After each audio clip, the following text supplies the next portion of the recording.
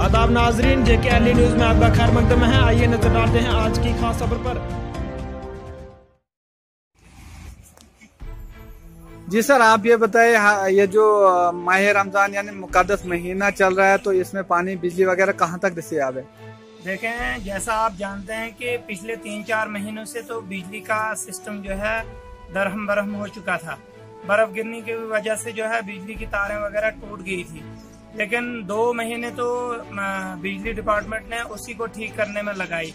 तब तो यही बहाना था कि तारें टूट गई हैं, पोल टूट चुके हैं, इसकी वजह से बिजली नहीं आ रही है। लेकिन आप देख रहे हैं कि पिछले चार चार दिन से जो है रोज़े चल रहे हैं तो चार दिन से बिजली की कटौती इतनी ज़्यादा बढ़ गई है कि आप यकीन भी नहीं कर सकते हैं।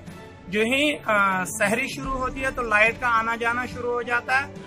और जो ही इफ्तार का टाइम आता है तो बिजली का सिस्टम जो है ऐसा ही शुरू हो जाता है। जान, मुझे तो ये लगता है कि ये जानबूझ के जो है बिजली डिपार्टमेंट मुसलमानों को परेशान करने के लिए ये सिस्टम बना रहा है। जानबूझ के शहरी और इफ्तार के टाइम पे दो दो मिनट के लिए कटौती रखते हैं। दो मिनट के लिए बिजली आती है और दो मिनट के लिए बिजली जाती है। इस बारे में जब कई बार महकमा बिजली के मुलाजमीन से रबता किया तो उन्होंने कहा कि जब भी कहीं प्रॉब्लम आती है तो उस वक्त लाइट बंद की जाती है। तो आप क्या कहते हो? देखें ये सब झूठ है। अगर ऐसा सिस्टम होता तो फिर डोडा किश्तवाड़ भदवा में बिजली क्यों नहीं जाती? यहाँ बलेसा में क्यों ये सिस्टम चल रहा है?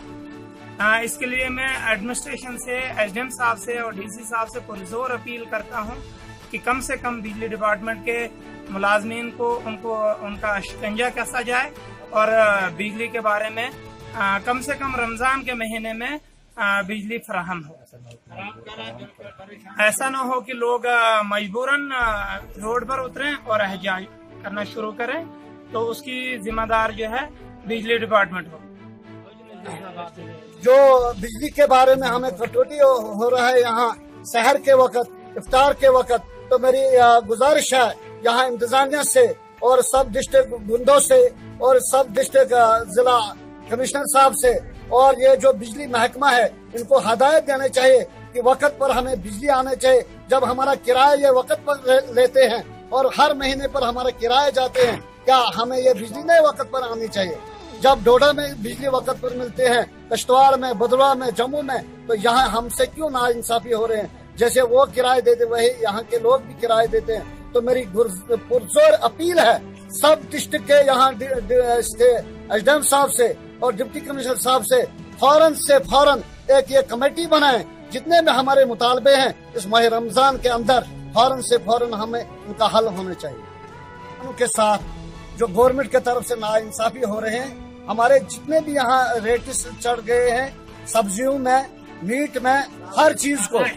और मैं गवर्नमेंट से अपील करना चाहता हूँ अगर हमारी इस वक्त जो त्योहार ये चल रहा है हमारा माह रमज़ान इसमें इनका भी फ़र्ज़ बनता है कि इन रेटों को फ़ौरन से फ़ौरन फिक्स करें। और रेट लिस्ट लगाएँ जो वहाँ मंडियों से यहाँ के लिए माल आता है वहीं से रेट उनको ज़्यादा पड़ रहे हैं।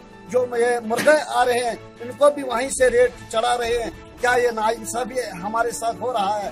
तो मैं यहाँ के सब डिस्ट्रिक्ट बुंदो के इंतजामिया से अपील करता हूँ और सब डिस्ट्रिक्ट डोडा के इंतजामिया से अपील करता हूँ और गवर्नर साहब से अपील करना चाहता हूँ। फ़ौरन से फ़ौरन इसके बारे में इजाला होने चाहिए और लोगों को कम सेक्शन पर ये हर चीज़